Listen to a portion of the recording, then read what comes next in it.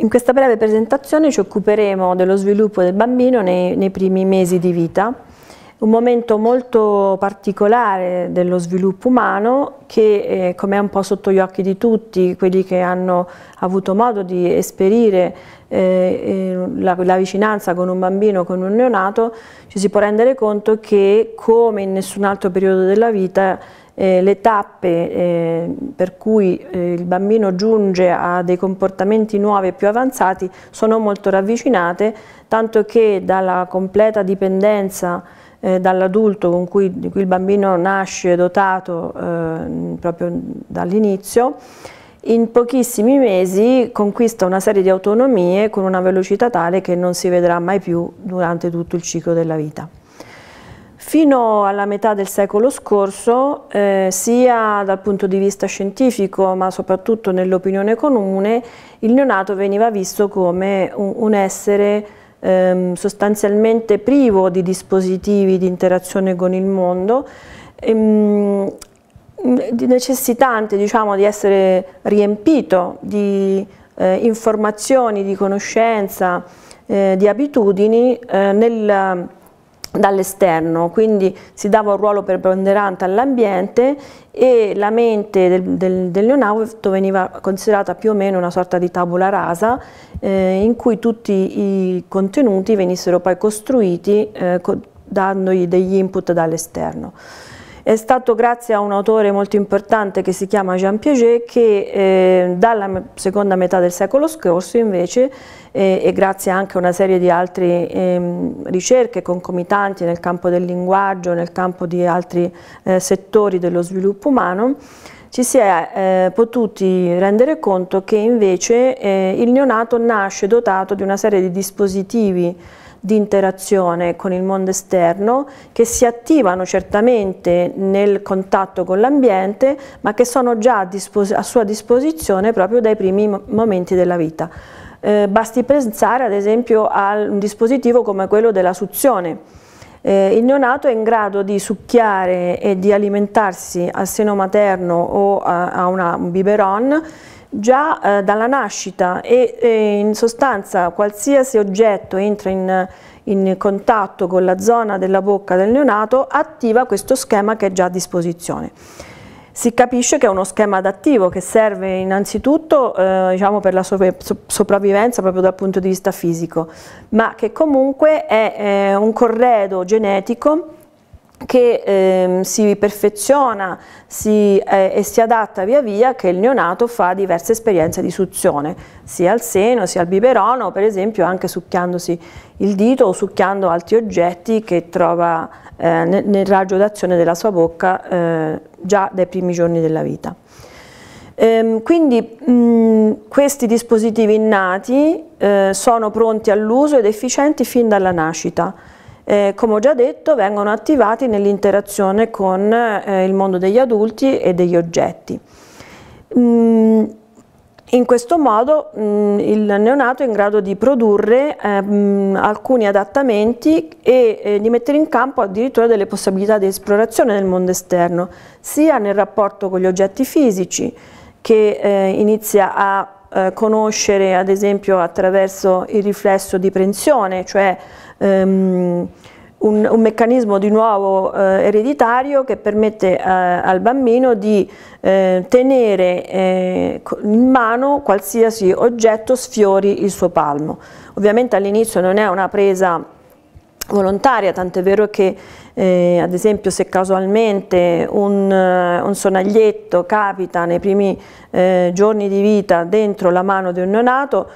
il, il neonato se lo perde in maniera eh, casuale non è poi in grado di, eh, volontariamente di andarlo a ricercare e di andarlo a riprendere. Però anche questo ehm, dispositivo che ehm, si capisce che è un corredo originario e genetico, chiaramente è a disposizione dello sviluppo successivo di una pensione invece di tipo volontario.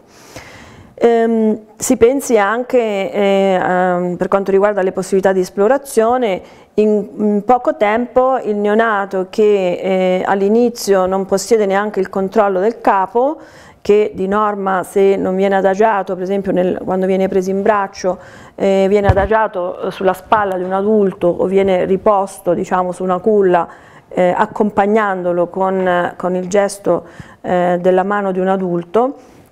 già in pochi giorni di vita riesce, se messo supino, eh, se messo a pancia in sotto, a girare il capo verso destra e verso sinistra, quindi mettendo in campo già delle attività esplorative del mondo esterno con una ricognizione, sebbene limitata, ma fatta con la vista, eh, già in pochi giorni.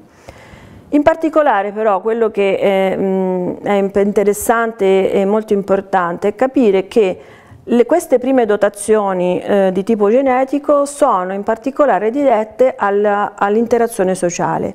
Questo è molto interessante perché fino a poco tempo fa si è creduto che, ad esempio Freud riteneva che il bambino si attaccasse alla mamma, alla madre, eh, perché la madre è la, la, la persona che eroga il cibo, quindi che questo attaccamento avvenisse per bisogno, eh, per un bisogno di tipo fisiologico. In realtà ci si è resi conto eh, attraverso degli studi, in particolare uno studio di Arlov che eh, ehm, ha, ha ricercato il comportamento di alcuni primati superiori, quindi alcune scimmie, mettendo dei cuccioli di scimmie all'interno di una gabbietta eh, in cui erano presenti una madre di fil di, un fantoccio eh, di fil di ferro che eh, erogava il latte e quindi il cibo e un fantoccio invece eh, ricoperto di peluche che non erogava cibo ma soltanto diciamo, eh, calore e accoglienza. E si è visto che anche nei primati questi, cuccio questi cuccioli passavano il, gran parte della giornata accoccolati eh, sul fantoccio eh, ricoperto di peluche e si rivolgevano alla madre, al fantoccio che erogava eh, cibo e latte soltanto nel momento del bisogno, eh, per esaudire il bisogno della fame. Quindi questo significa che anche nei primati superiori il bisogno di calore, il bisogno di eh, interazione affettiva e di costruzione di rapporti eh, accoglienti eh, è prioritario rispetto al bisogno di essere semplicemente sfamati. Ci sono poi state altre ricerche che hanno eh, che hanno sottolineato questo bisogno di socializzazione del bambino, ma in particolare qui ci interessa sottolineare altri tre dispositivi eh, che sono originariamente eh, a disposizione del neonato e che serviranno proprio alla costruzione dei legami sociali e affettivi ovviamente con eh, i genitori, ma con tutti gli adulti che diventano significativi, possono essere nonni, possono essere babysitter o educatori che in qualche modo sono presenti eh, nella vita del bambino fin dalla nascita e eh, che poi dopo si stabilizzano e si dirigono anche a costruire i rapporti con i pari, con i coetanei, quindi con gli altri bambini, i primi rapporti di amicizia. In particolare questi tre eh, dispositivi sono il pianto, il sorriso e le vocalizzazioni. Um, in particolare eh, il pianto è un sistema di segnalazione a distanza, eh, è a disposizione fin dalla nascita e eh, svolge un ruolo molto importante perché eh, riesce a segnalare agli adulti lo stato di bisogno del bambino anche quando gli adulti non sono presenti alla situazione, appunto è un, un sistema di segnalazione a distanza. Richiamano l'attenzione e ehm, servono all'adulto per capire cosa, eh, di cosa il bambino ha bisogno in un certo momento, ad esempio di essere sfamato, di essere preso in braccio o di essere pulito e, e accudito. Il pianto quindi so, eh, offre un'importante occasione di interazione con il bambino e qui ehm, è importante sottolineare che non andrebbe estinto velocemente come si tende a fare ad esempio utilizzando delle strategie come eh, quelle dell'uso di, eh, di, un succhiotto, ehm, perché l'adulto ha bisogno di capire qual è il, il bisogno che eh, il bambino esprime attraverso il pianto e solo lasciando che il bambino esprima il pianto l'adulto può sintonizzarsi sul bisogno del bambino, cercare di capire ad esempio prendendolo in braccio se il pianto si estingue semplicemente con questa azione e quindi vuol dire che il bambino aveva bisogno di interazione, di vicinanza semplicemente. Se invece questo pianto non si estingue, potrebbe essere che il bambino ha momentaneamente un, un dolore, eh, un piccolo bisogno di altro genere, quindi di accudimento di altro genere, o, oppure se il pianto deriva dalla fame, cioè dalla sensazione dello stomaco vuoto che quindi ha bisogno come azione eh, diciamo di, di, cura la possibilità di eh, sfamare il bambino. Eh, L'abitudine, eh, il pianto non gode di, di grande mm, successo diciamo, nella, nella nostra società che tende piuttosto alla felicità ma è importante invece capire che il pianto nei primi mesi di vita eh, è un importante dispositivo di comunicazione che quindi quando si tende a distinguerlo molto velocemente in realtà si soffoca un canale che è a disposizione naturalmente del bambino proprio per eh, interagire con le possibilità che ha perché ancora non avendo il linguaggio si esprime attraverso questo canale alternativo. Eh, diversamente il sorriso è un sistema di segnalazione in vicinanza, cioè il bambino può sorridere solo quando eh, diciamo, eh, l'adulto può capire lo stato di benessere del bambino che sorride solo se è in presenza. E è importante eh, che alcuni studi abbiano sottolineato come il sorriso eh, che all'inizio è semplicemente una smorfia diciamo, di, di carattere neurofisiologico eh, invece viene interpretato dall'adulto proprio come un sistema di segnalazione di eh, eh, comunicazione di benessere. E eh, riprendendo il sorriso del, del bambino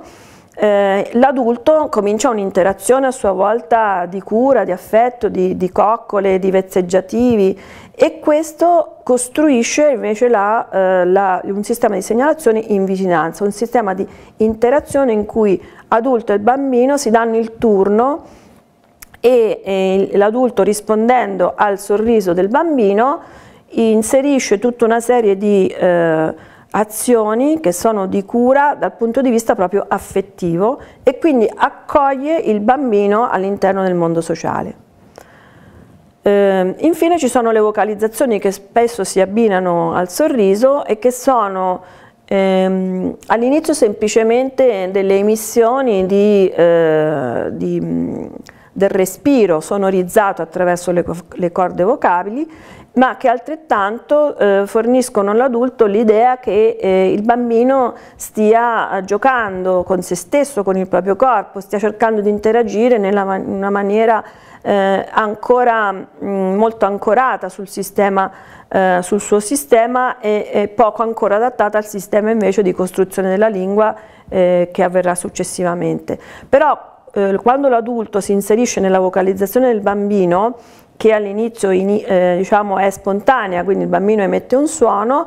eh, l'adulto, eh, il familiare risponde a questo suono, per esempio imitandolo e dando luogo a degli scambi veri e propri come poi avverrà successivamente nel dialogo quando a queste vocalizzazioni saranno sostituite le parole.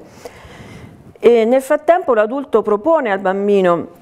dei modelli eh, di, di, lingua, di linguaggio, quindi parlando la lingua che, che gli è propria,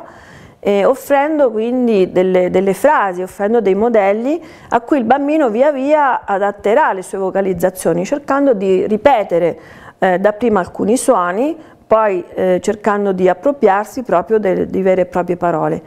Si può capire quindi che pianto, sorriso e vocalizzazioni sono i tre sistemi a disposizione del neonato per l'interazione con il mondo, eh, soprattutto il mondo sociale, per entrare in comunicazione con gli altri, per costruire quei legami di, ehm, di fiducia e di affetto che gli permetteranno poi di acquisire una propria identità e di esplorare il mondo con più fiducia.